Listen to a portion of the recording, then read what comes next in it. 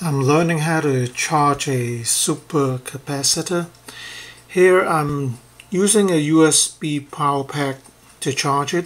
I have a 2 amp uh, power supply and I'm using a Charger Doctor so I know how much is being drawn. Now I'm towards pretty much the end of the charge. Uh, it's drawing about 20 milliamp and I used the USB power to go through this boost converter to boost the voltage to the voltage that I want.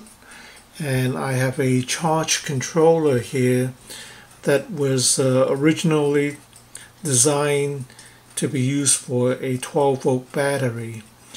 But it has a adjustable resistor a potentiometer here and together with the voltage booster which also has a adjustable voltage uh, adjustment I was able to set the charging voltage and limiting it to 2.7 volt which is uh, the maximum for this super super capacitor. I've charged it now for about 15 minutes. Uh, it's now about 2.16 volt. And uh, earlier I was using a solar panel. Of course, it took all day to charge it. And uh, if I were to use a charge controller, I can probably charge it up to full power, uh, maybe in half an hour.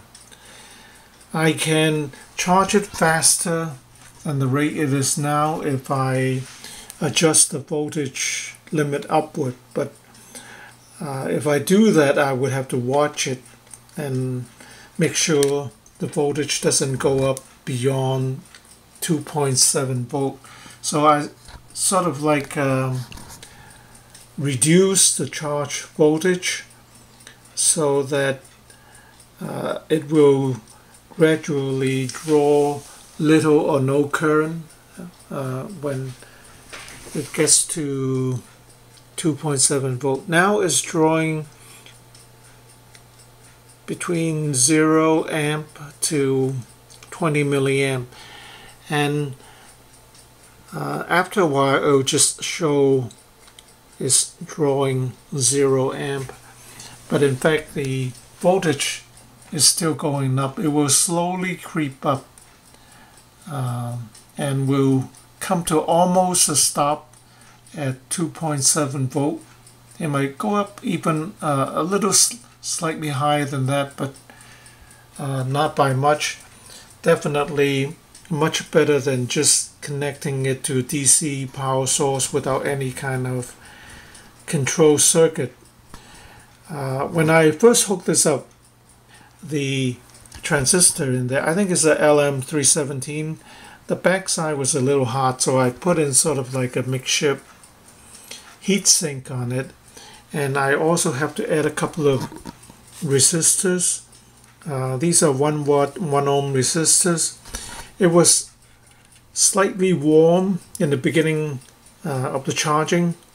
Uh, it could even get a little hot because it was drawing like 600 700 milliamps. And now it's almost cold because it's drawing very little or no current. The uh, voltage will still go up. So the Charger Doctor might not be all that correct.